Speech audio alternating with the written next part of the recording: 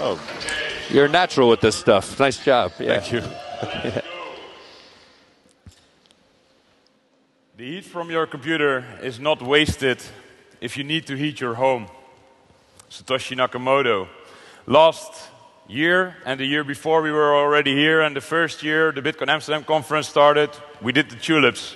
3,200 tulips grown with Bitcoin heat, and the goodbye was great. Everyone was throwing the tulips in the air. But tulips, of course, are a waste of energy, so we had to do better. More about that later. It was a beautiful palette. It grew during the conference, and it was amazing.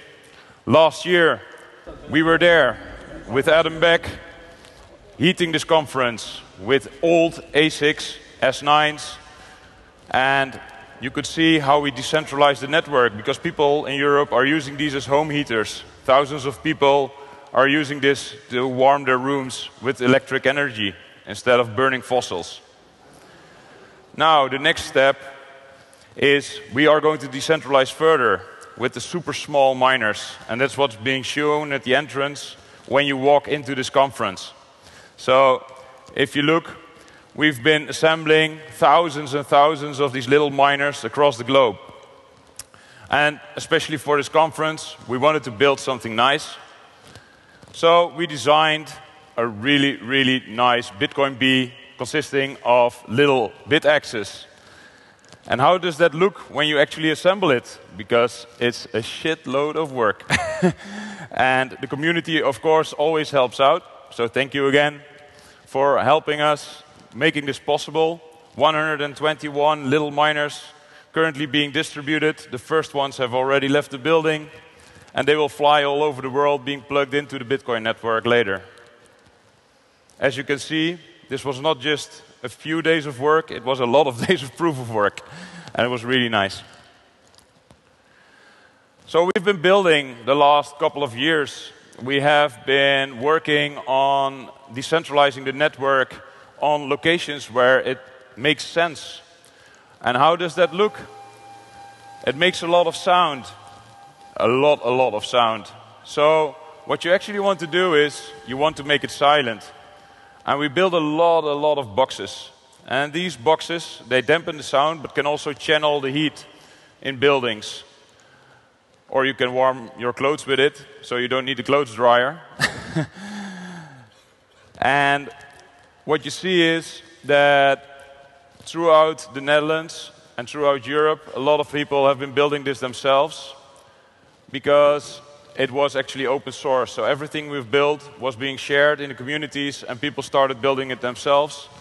And therefore they could mine some sats and of course also spend them, for instance, in Arnhem. Why is this important? Governments are good at cutting off the heads of centrally controlled networks like Napster, but pure peer-to-peer networks like Gnutella and Tor seem to be holding their own. Satoshi Nakamoto again.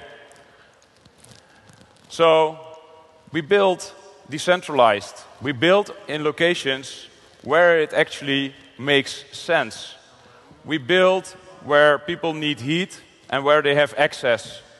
Access electricity from their solar panels, where otherwise they have to pay if they want to deliver back on the grid.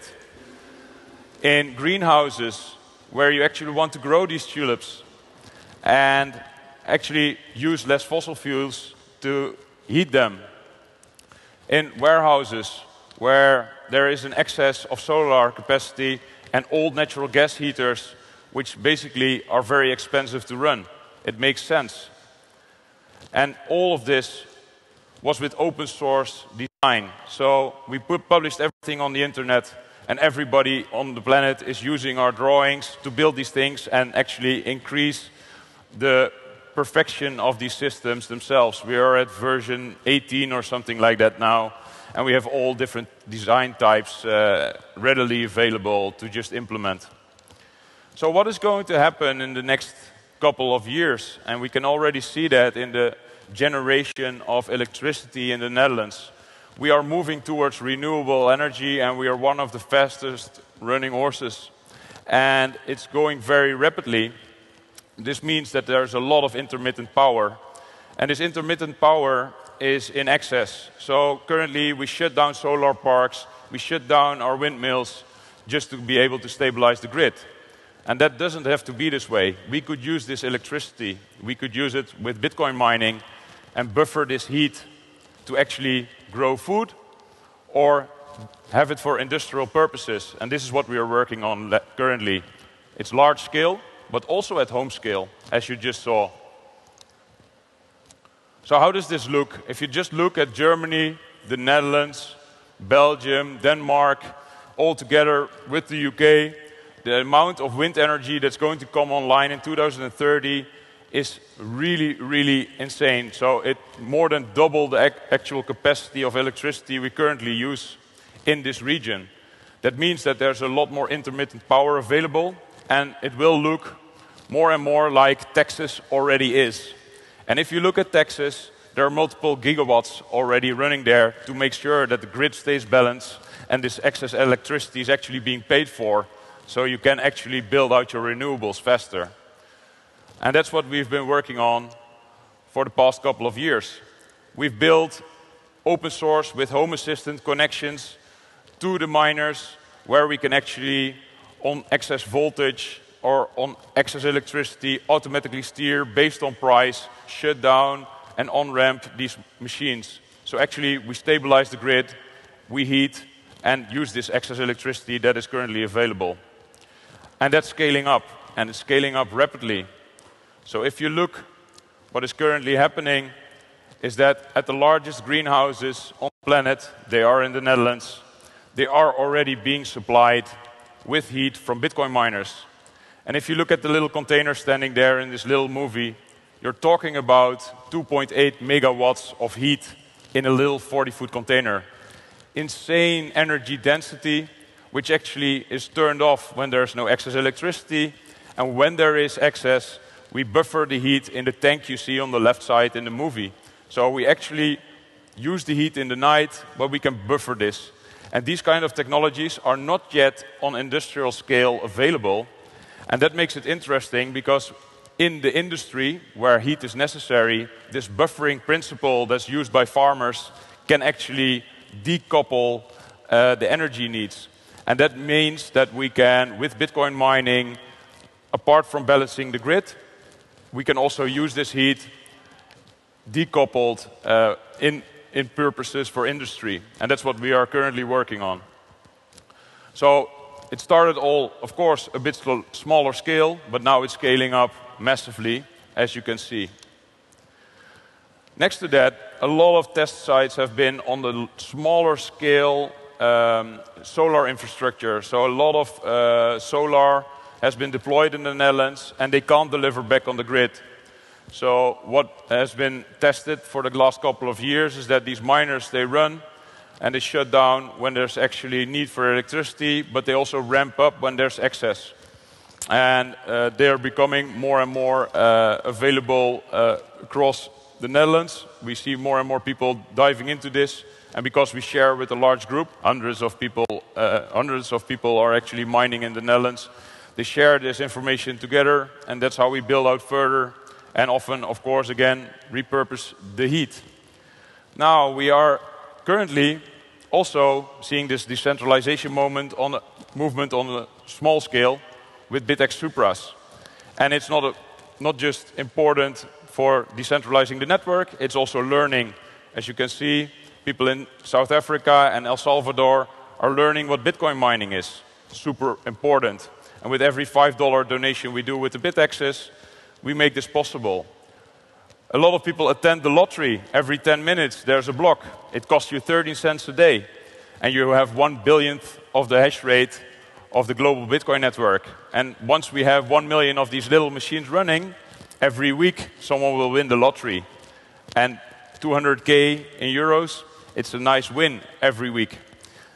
The chance is incredibly small. Every 10 minutes you have one in a billion chance, but as you know the meme, so you're telling me there's a chance, right? So you want to join this movement. It's really fun, and actually, we decentralize the network. And then, if you look, you can also use it for Lightning. A couple of cents a day, 100 days, you will mine a cup of coffee. You have direct payments, great privacy. Actually, it makes sense now to mine for these smaller amounts. And actually, with renewables, you can switch on and off, and you actually get paid. So it might make sense just to get some in case it catches on. If enough people think the same way, it becomes a self fulfilling prophecy. And then, as the last little spoiler alert that I already told in Antwerp, we are growing quite some food now on large scale. If you go to a supermarket in Europe, you might actually have a tomato in your hands that's heated by Bitcoin. So, eat up. and it's not just tomatoes. And we created a little movie for it because we want to show the world that Bitcoin is not bad, it's actually good. So, we are standing here at the largest pepper growing greenhouse on our planet. And the chance that if you buy a pepper in Europe, that it's a Bitcoin pepper is insanely high.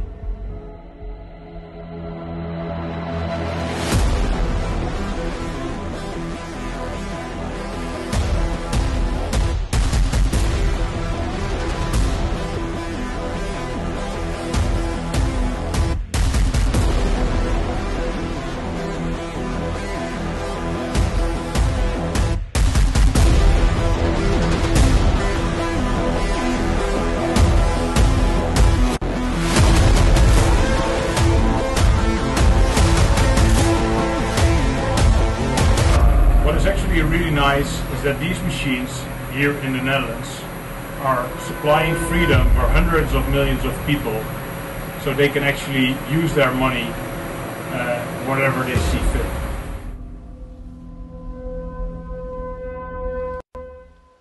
So everyone, let's decentralize the network and we'll see each other at the Bitaxe stand.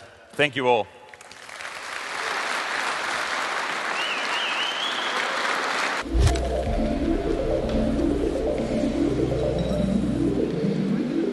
Welcome back, everybody. We are here at the Bitcoin Magazine news desk at Bitcoin Amsterdam. I am Frank Corva, the business and political correspondent for Bitcoin Magazine. I'm joined by Alejandro de la Torre, CEO of Demand Pool, and Aaron van Wirdum, editor in chief of Bitcoin Magazine and author of the Genesis book. Alejandro, we just heard Bert de Groot talking about really important ways to uh, decentral or really creative ways in which miners are using excess heat, um, how they're decentralizing the hash rate. Your takeaway: What are miners doing? that's sort of a creative use of some of the energy that they're producing, some of the heat that's being produced from mining? Well, Bert is a great example of that. Bitcoin Brabant, they they actually heat flowers like tulips, mm. which is an ironic uh, flower to heat. Yeah. But I've heard of uh, heating of mangoes, like dried mangoes, beef jerky. You know, at the end of the day, the miner tries to find different revenue sources. Amazing, yeah. And Aaron, we were just talking a little bit before about the importance of decentralizing the hash rate. Do you want to weigh in on, in on that at all? Yeah, of course. I mean, uh, the only way Bitcoin can be censorship resistant is for it to be truly decentralized, to have no sort of choke point for authorities to kind of you know choke it off. Right. Uh, so yeah, mining decentralization, and that's hardware decentralization. Yep. Pool decentralization. Uh, I'm forgetting one. Yeah, chip manufacturing. Well, that that's a big challenge. Right. Still. Chip manufacturing decentralization. Uh, it's all necessary for Bitcoin to actually work as intended. Yeah.